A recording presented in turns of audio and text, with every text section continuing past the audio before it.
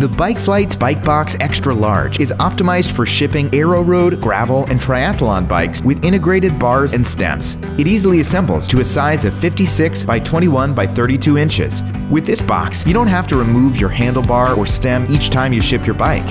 Packing the Bikeflights Bike Box Extra Large is a simple process that requires you to do these four key steps. First, remove the pedals.